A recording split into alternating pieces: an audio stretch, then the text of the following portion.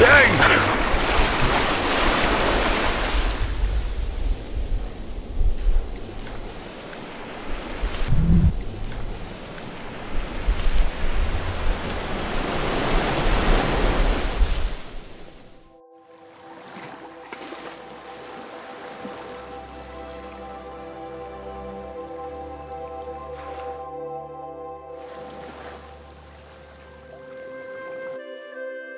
అసలు ఎందుకు పుట్టించావు? నిన్నే ఎందుకు పుట్టించావు? పుట్టగానే అమ్మ చనిపోయింది. ఊహ తెలిసాక నాన్నెవరు తెలియదు.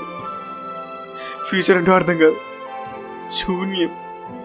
ఎందుకు పుట్టించావు? చదువుకుని ఆడుకునే వయసులో. ఒక పుట్టన్న కోసం మూడు పుటలు కష్టపడేవాడిని. ఆ పని కోసం కష్టపడేవాడిని ఆ పని చేయడం కోసం కష్టపడేవాడిని. కష్టపడతాను. ఫలితం ఉండదు. రెండోసారి కష్టపడతాను. అసలు పనే ఉండదు. దరిద్రం దగ్గరగా అదృష్టానికి దరిదాపులు లేకుండా బతుకుతున్నాను స్వామి. ఎందుకు పుట్టించావు? ఎందుకు పుట్టించావు? పోనీ ఎన్నోసారి చావాలనుకున్నాను. చావనివ్వలేదు. ఎందుకు పుట్టించావు?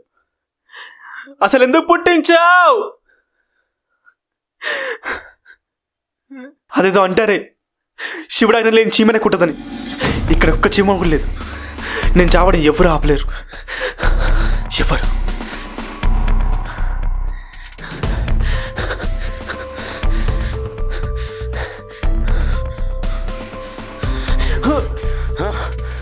మా టీవీకే చంపితే పైలోకానికి వెళ్ళాల్సిందే. మీకు చంపడం ముఖ్యం అనుకుంటే నన్ను చంపండి.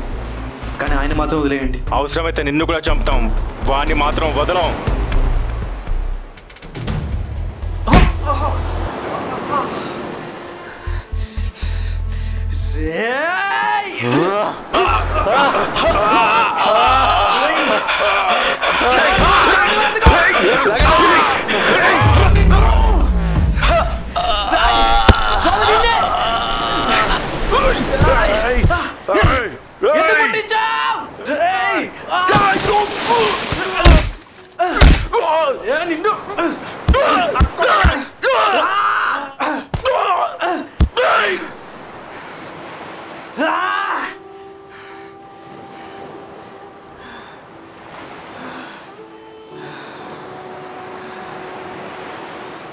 వాళ్ళు ఎందుకు నేను చంపాలనుకుంటున్నారు? నన్ను కూడా చంపే బ్రదర్. నీకేమైనా పిచ్చా? పిచ్చి కాదు బ్రదర్. పాపం. అయినా వాళ్ళకి కావాల్సింది నా ప్రాణాలు కాదు. నా కళ్ళు నా గుండె నా కిడ్నీలు అర్థం కాలేదు. వాళ్ళ టీవీక మనుషులు. టీవీకి ఎవరు? మూర్ఖుడు కిరాతకుడు ఒక రాక్షసుడు. ఆ టీవీకే చిన్న చిన్న బిజినెస్ చేస్తూ మల్టీ మిలియనర్ అయ్యారు బ్రదర్. చిన్న పిల్లలు బ్రదర్. చంపేస్తున్నాడు బ్రదర్. చంపి వాళ్ళ పాచి వేరే కంట్రీలో అమ్ముతున్నాడు బ్రదర్. వాడికి మనిషి ప్రాణం విలువ తెలియదు బ్రదర్. చీమలు మనుషులు ఒకటే వాడికి.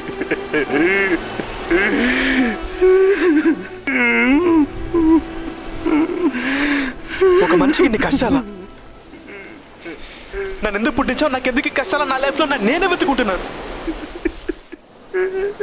జీవితం అంటే తన కోసం నన్ను బతకడం కాదు. పది మందితో కలిసి బతకాలి. పది మంది గురించి బతకాలని తెలుసుకున్నాను.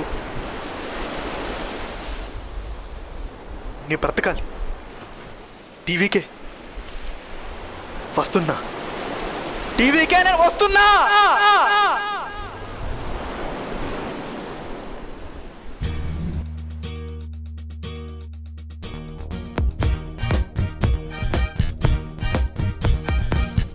బతుకుల వెలుగును నింపగా ఉదయించిన సూర్యుడువా? నీతో నీవు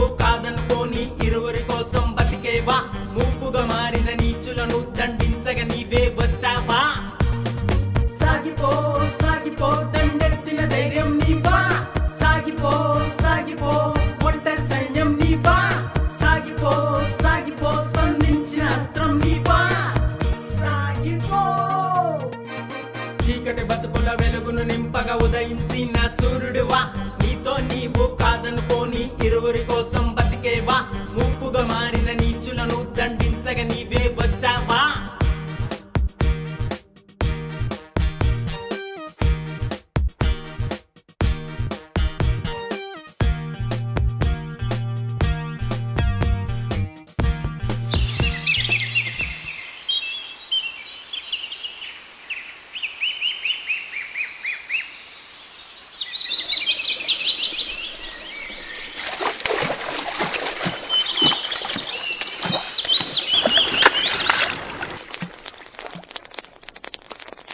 హాయ్ హీరో.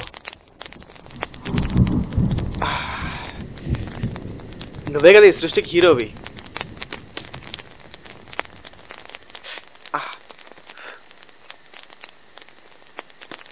నాకు ఆరో ఏడు సంవత్సరాలు అనుకుంటా.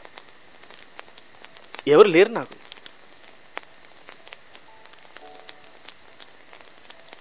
కళ్ళల్లో నీళ్ళు. చాలా ఆకలి. ఆ ఆకలి నన్ను ఎక్కడ తీసుకెళ్తుందో నాకు తెలియని సమయంలో ఒక పెద్ద హాల్ కనిపించింది. పెద్ద స్టేజ్ లైట్స్ ఏదో ఫంక్షన్ అనుకుంటా. పెద్ద పెద్ద స్పీకర్స్ స్క్రీన్స్ పెట్టారు. అప్పుడు వాటితో పాటు ప్రాణాలున్న వస్తువులు. అదే మనుషులం మేము.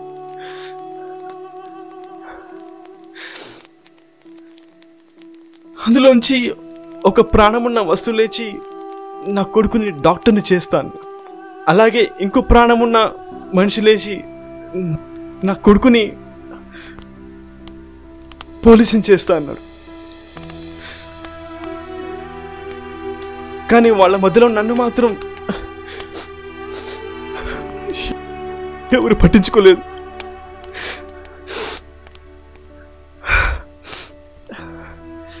అలా వాళ్ళ ఆలోచనలు చేతులు కాళ్ళు వాళ్ళ వాళ్ళ దేహం అంతా వాళ్ళ గురించే పంచాలి వాళ్ళ గురించే వాళ్ళు వాళ్ళు వాళ్ళని. ఒక మనిషి కింద పడ్డప్పుడు లేపాలనే మానవతలు లేని ఒక మనిషి డాక్టర్ అయితే ఏంటి పోలీస్ అయితే ఏంటి? వాళ్ళ లైఫ్లో వాడి గురించి ఆలోచించి సక్సెస్ అవ్వలేకపోతే వాళ్ళ లైఫ్లో ఇంకా దేనికి పరిగణ నేను అందరిలానే ఆలోచించాను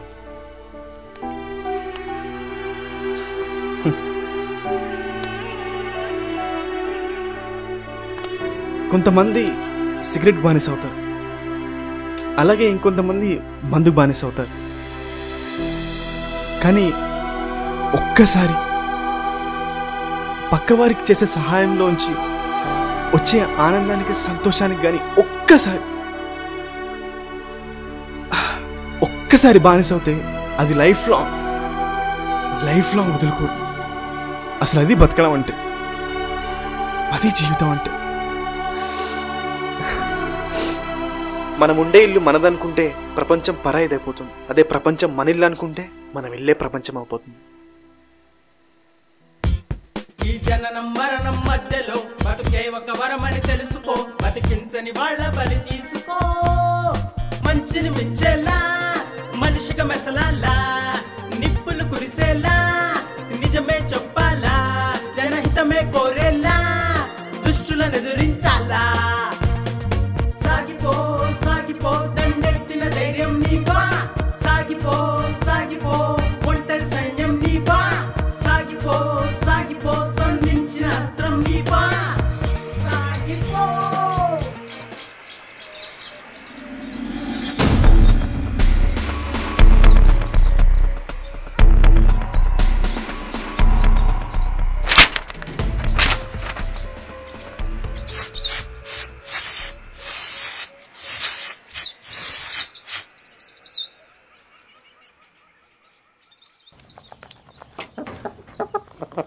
కోడి పిల్లలు ఇంకా రాలేదేంటి? ఎక్కడున్నాయి?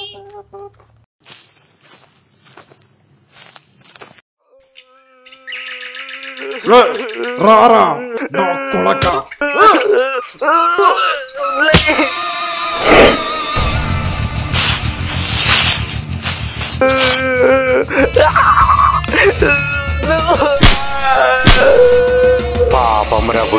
ఎందుకు అలా చెబుతున్నావు? మేకని చంపిన తోలు ఎంత పద్ధతిగా తీస్తారో తెలుసు కదా? అంత పద్ధతిగా చంపాలి. ఎందుకంటే వాడి శరీరంలో ప్రతి భాగం మనకు చాలా అవసరం. కోట్లు కోట్లు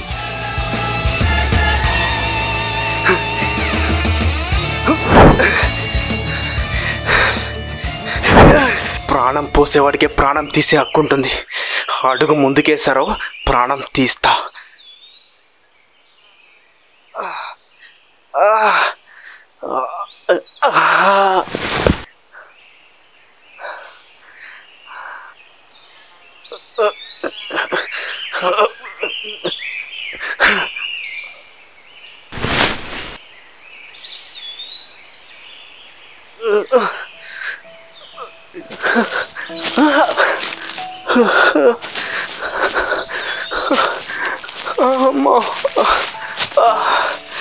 అమ్మా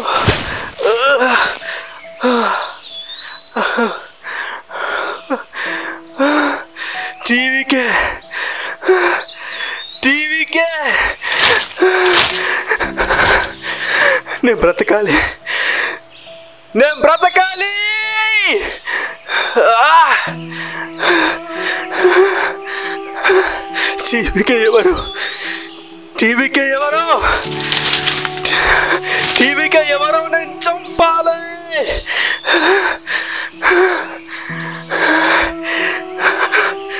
నేను బతకాలి టీవీకి నేను బతకాలి టీవీకి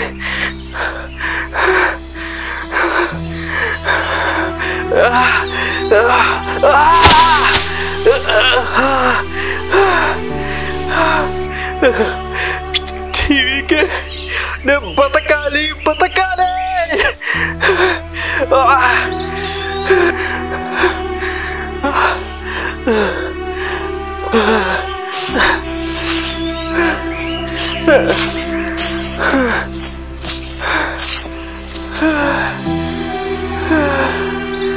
దాహం దాహం దాహం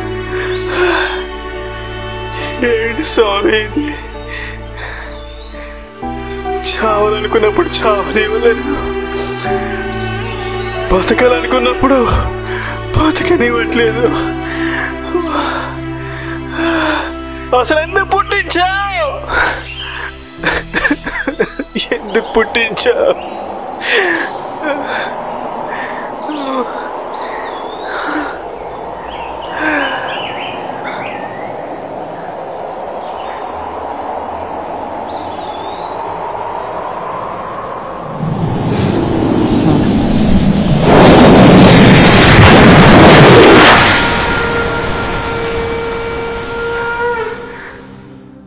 ప్రతి పుస్తకంలో రెండో పేజీ అర్థం కావాలంటే మొదటి పేజీ చదవాలి. అలానే నువ్వు ఎందుకు పుట్టావు? ఎందుకు ఇలా ఉన్నావు? ఎందుకు చనిపోతున్నావు? నీకు నీ జన్మ అర్థం కావాలంటే పోయిన జన్మ తెలుసుకోవాలి.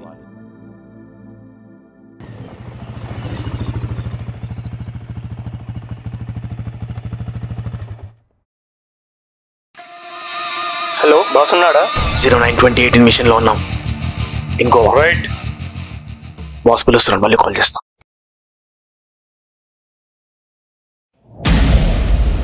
బాస్ వీడే మన హ్యూమన్ ఆర్గాన్ స్మగ్లింగ్ పై కోర్టులో కేసు వేసింది. వీడా? రే రోజు మా బిజినెస్ డీలింగ్లో కొట్లాటల్లో పోలీస్ ఎన్కౌంటర్లో మా వాళ్ళు ఎంతమంది చనిపోతున్నారో తెలుసా? సూరి నిన్నెంతమందిరా? మొన్న మొన్న? రైట్. ఈరోజు పదహారు మంది బాస్. నువ్వు నన్ను చంపగలవేమో కానీ నిజాన్ని చంపలేవు. ఏమో కాదు నేను నిజంగానే చంపేస్తా. ఇట్స్ ఫిక్స్ ఆయన నా గురించి చెప్పుకుంటే అస్సలు బాగుండదు. పైన దేవుని అడుగు. చెప్తాడు. రైట్ ఎవరడియా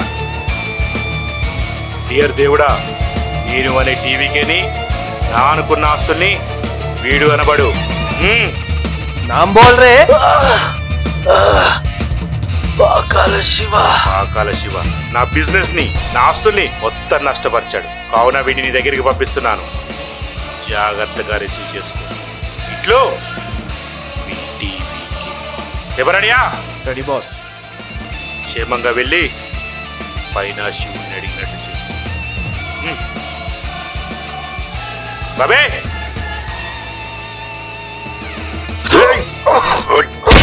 ప్రాణం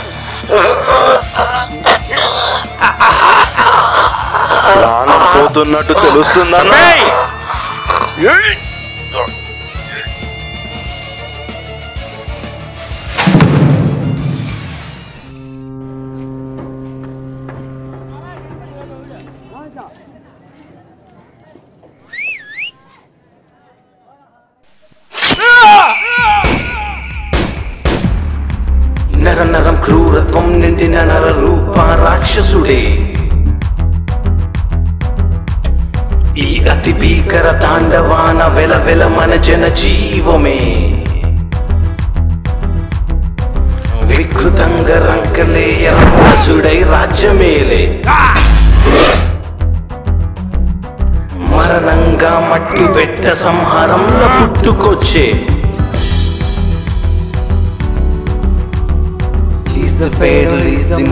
He's the deadly danger. He's the demon, he's not human, he's killing thunder. ప్రాణానికి విలువ లేదు చంపినే పీడు జాలి దయాదరికి రాదు కరుణ లేని కిరాతకుడు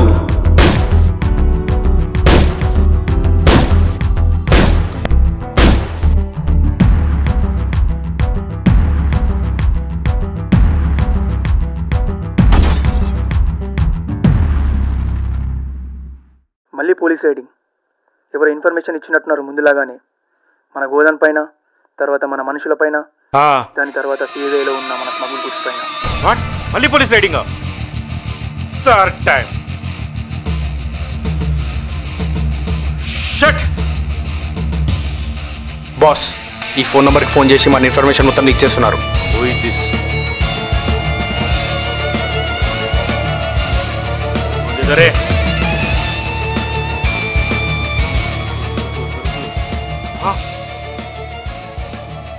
ఫోన్ ఎవరిదిరా? కాదన్నా.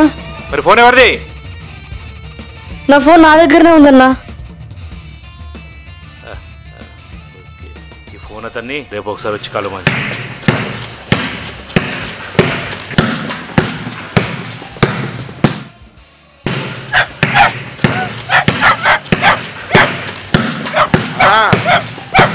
రైట్ వస్తుండానా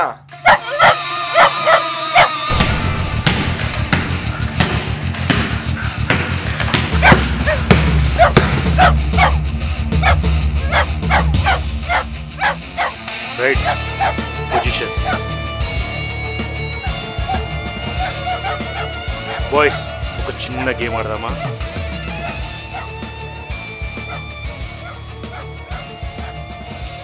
మీలో తెలివైన వాళ్ళు ఎవరు? ఫస్ట్ క్వశ్చన్ నీది who invented telephone Graham Bell right second question right నీది. సిమ్ కార్డ్ కనిపెట్టింది ఎవరు? మోనిచ్ కరెక్ట్ సిమ్ కార్డ్లో మెమరీ ఉంటుందా? ఉంటుంది. మెమరీ ఎందుకు ఉంటుంది? ఒక నెంబర్ని మల్టిపుల్ టైమ్స్ డయల్ చేసే వాళ్ళు ఒకసారి సేవ్ చేసుకుని చాలు కాబట్టి. మరి ఈ నెంబర్ సేవ్ చేసుకొని ఎన్నిసార్లు కాల్ చేసావు? ఎంత ఇన్ఫర్మేషన్ ఇచ్చావురా? గడ్డిని పురుగు పురుగుని కప్ప కప్పని పాము. నేను నిన్ను చేసా మోసం చేసా ఛా హ. ఇంకా? రేయ్ అప్పుడు వాడిని చంపా ఇప్పుడు నిన్ను చంపుతా. రేయ్ అది చాలా రాంగ్ రా. నువ్వు నా రైట్ అని నా ప్రాణం అని అది ఇది అని చాలా సెంటిమెంటల్గా ఫీల్ అయ్యా నువ్వేమో చాలా ఈజీగా చెప్పేసావు బేసిక్గా నేను వదిలేచ్చిరా కానీ బస్సులో టికెట్ తీసుకోమంటే తీసుకో. అదే చెక్కింగ్ ఉందంటే టికెట్ తీసుకుంటాం. భయం. ఆఫీస్లో వర్క్ చేయమంటే చేయం. అదే ఆడిట్ ఉందంటే వర్క్ చేస్తాం. భయం. అక్కడ చెక్కింగ్ అంటే భయం ఇక్కడ ఆడిట్ అంటే భయం. ఇప్పుడు నీ చావు భయం కావాలి.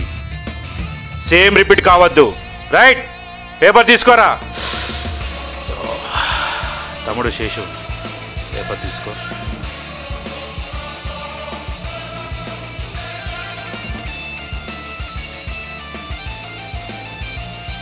డియర్ దేవుడా మేము వేసుకునే బట్టల్లో షూజుల్లో ప్రతి వస్తువుల్లో బ్రాండ్స్ తయారు చేసుకున్నాం. కానీ నువ్వు తయారు చేసే మనుషుల్లో మాత్రం క్వాలిటీ లేకుండా పోయింది. మనవాడు అనుకున్న వీడు అనగా నా రైట్ హ్యాండ్ నన్ను మోసం చేశాడు. ఈ మోసం చేసిన వీడిని నీ హెడ్ ఆఫీస్కి పంపిస్తాను. కాస్త వీడికి మంచితనము మానవత్వము విశ్వాసము నేర్పించు శంకర. ఇట్లు టీవీకే.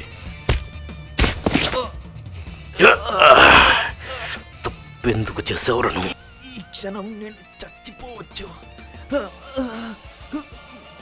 కానీ ఇదే క్షణం నీకు కూడా వస్తుంది. ఇలా నువ్వు పోయిన జన్మలో గడిపిన ప్రతి క్షణం ప్రతి పని ఈ జన్మలో గడిపిన గడుపుతున్న ప్రతి క్షణం ప్రతి పనితో ముడిపడి ఉంటుంది. అసలు నువ్వు పుట్టడానికి కారణం ఏంటంటే మీ నాన్నని అదే టీవీకేని చంపడానికి. ఏంటి? టీవీకే? మా నాన్ననా అవును టీవీకే మీ నాన్నని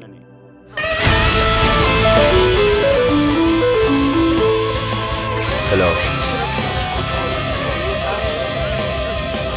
हम्म, ठीक है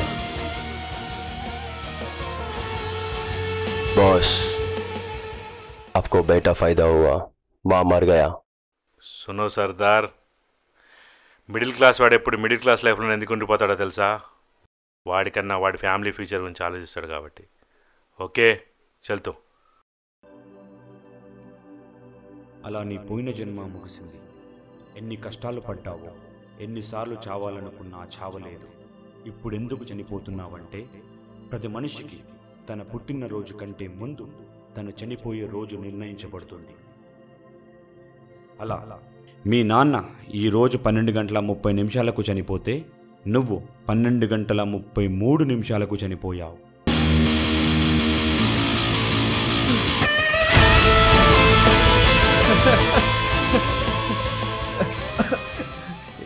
ఏంటి స్వామిది నువ్వు కూడా జోక్ చేస్తావా? టైం ఇప్పుడు పన్నెండు గంటల ముప్పై ఐదు నిమిషాలు అవుతుంది. ఇంకా చావలేదే. అవును నువ్వు చనిపోయావు. ఎప్పుడో నీ దేహాన్ని వదిలేశావు. అటు చూడు.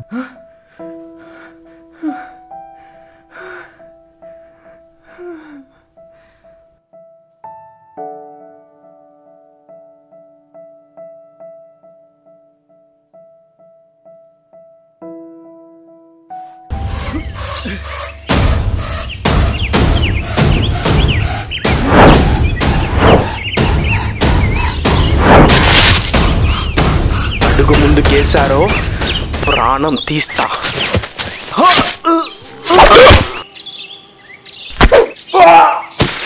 ఎన్ని కోట్లు సంపాదించా ఎంతమంది ప్రాణాలు తీసా.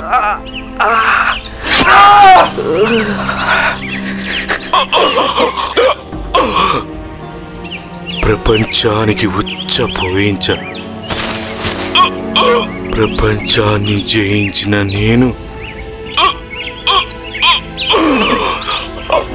చావని మాత్రం జయించలేకపోతున్నా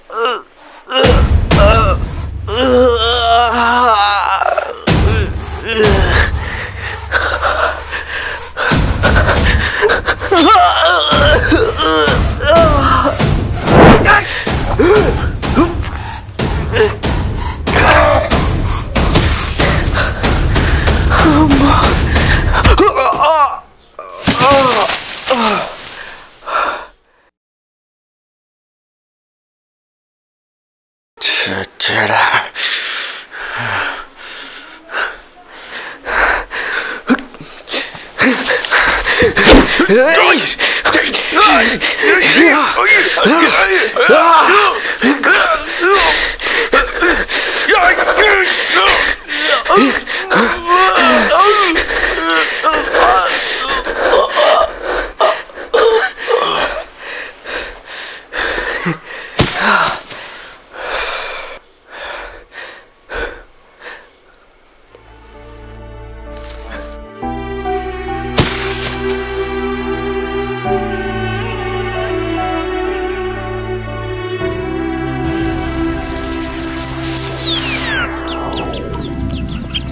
ఈసారి